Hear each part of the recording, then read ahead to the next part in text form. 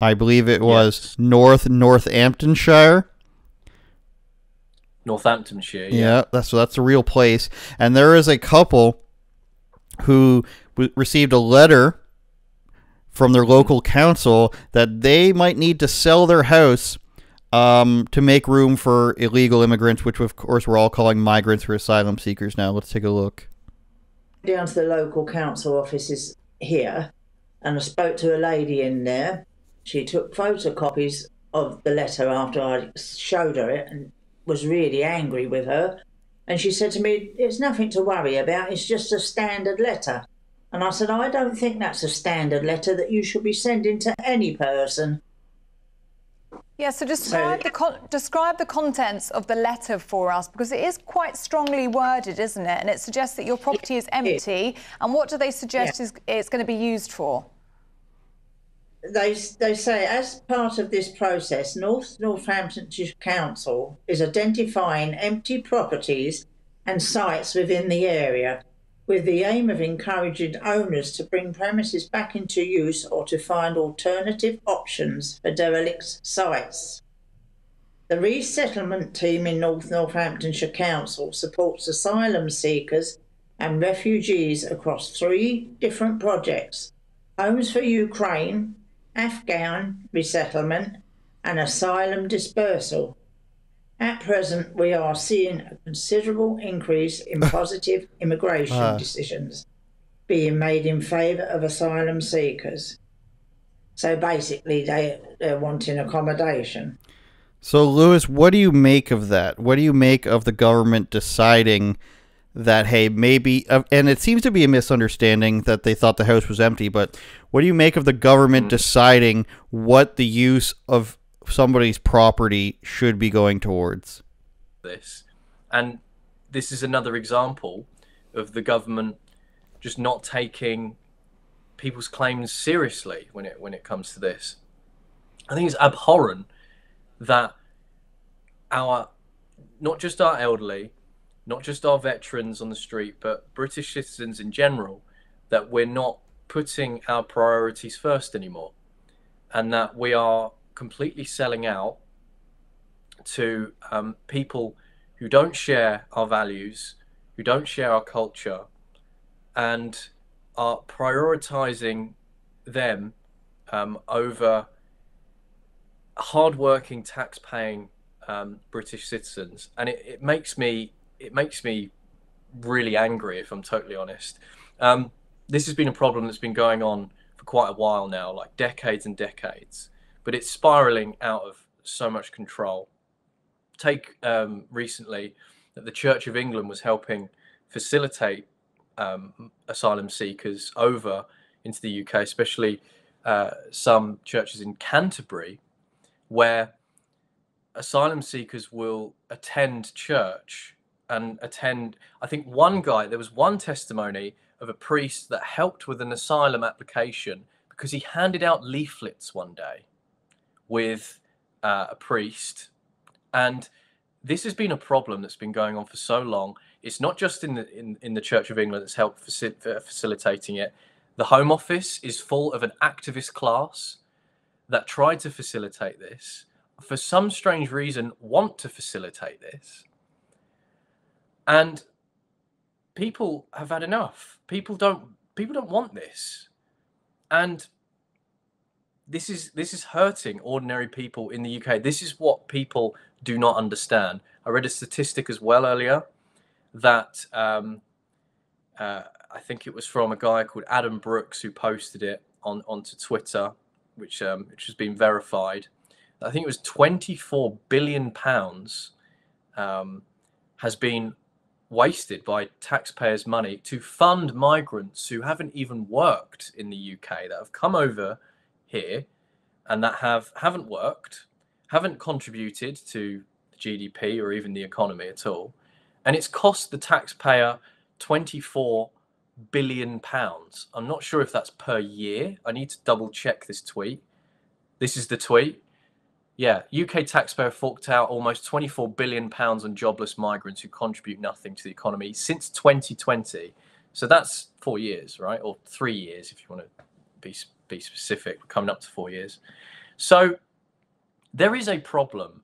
There is a huge problem in this country, and I'm sure it's the same for other countries. But the people now, I think the narrative is changing, but the government, both Labour and Conservative, aren't interested in doing anything about this. So what happens? Um, tensions are going to raise. People are going to take matters into their own hands, and it's not looking good. If I'm totally honest, that's all I'm going to say. But yeah, we have a massive problem in this country, and I'm sure for, for other Western countries too. My approach to this was more a focus on a government not doing the best by its own citizens, which it's by design supposed to do. What they said was to adhere to refugee claims from Ukraine, Afghanistan, and asylum seekers, which are obviously people from countries abroad and in North Africa and the Middle East who've skipped over a whole bunch of other countries to get to England for its benefits. What's interesting and what I think the UK citizens, particularly in England here in Northamptonshire, should have a problem with is the fact that their government is not only saying, hey, we need properties of yours to house people who are not from this country, but we're going to force you to sell your home potentially, force you to sell your property because we have determined what you are doing with your property is not worth it.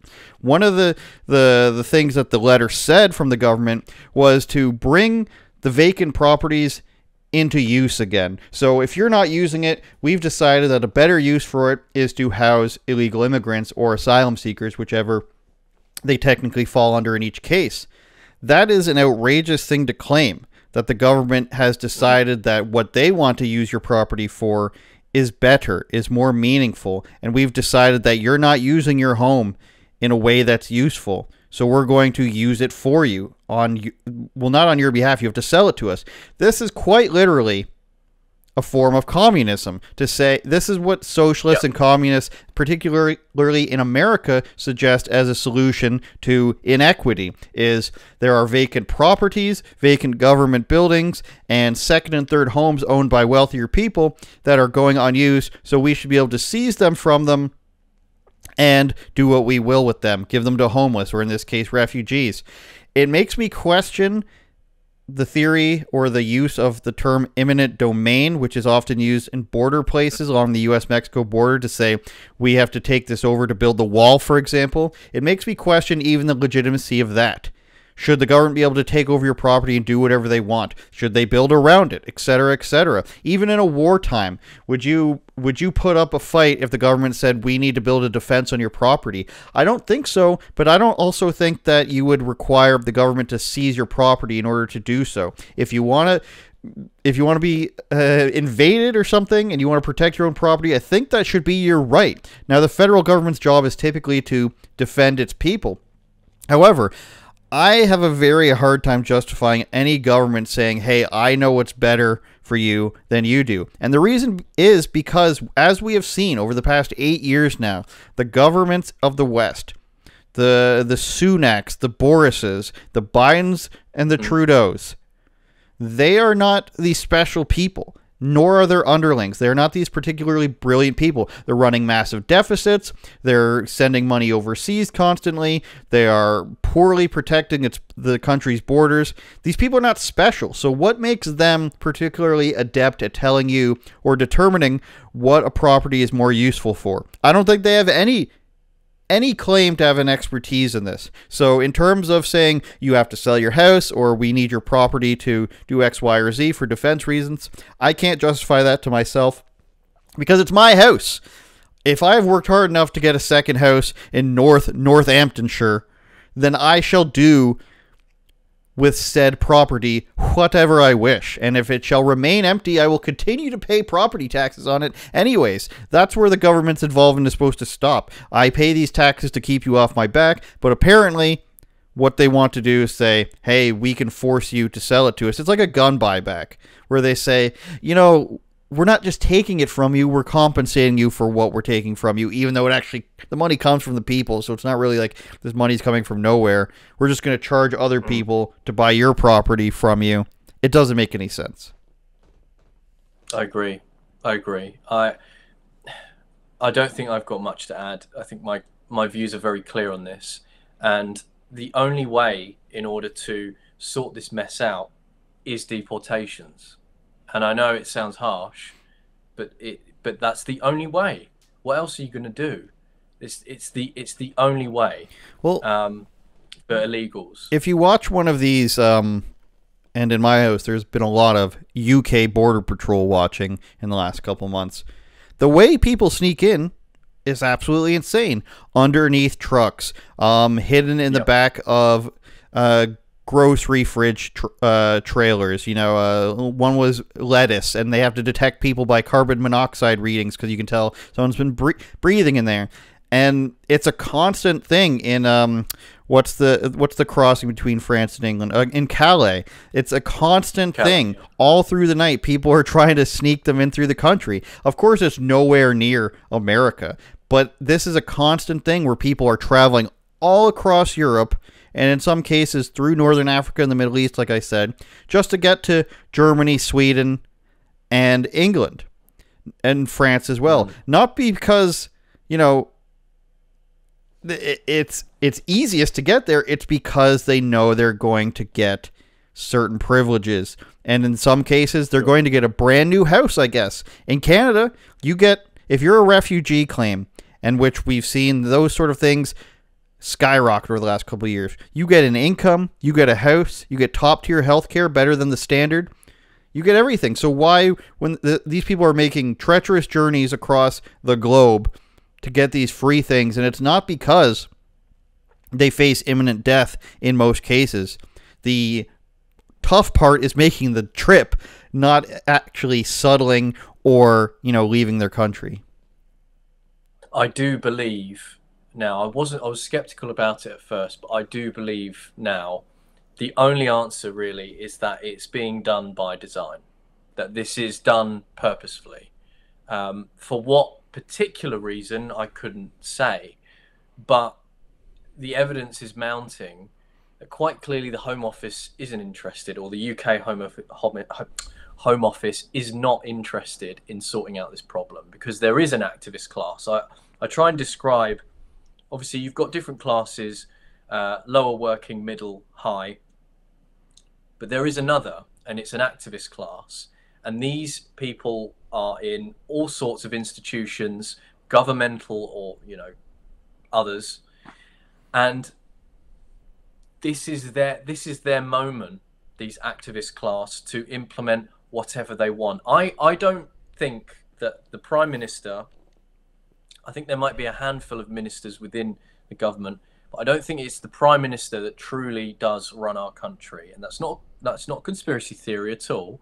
It's backed up by um, how the public service works in this country and how that there is within um, the public service a class of people that looks to thwart policy who, who if they don't like whoever's running whether it be home secretary or, or whoever if they don't like them and if they don't want them to continue with their policies uh, they can they can get them out which they've seen with Suella Braverman for example who she was removed after talking about two-tier policing within London and saying that particular groups of people were being um, were being favoured.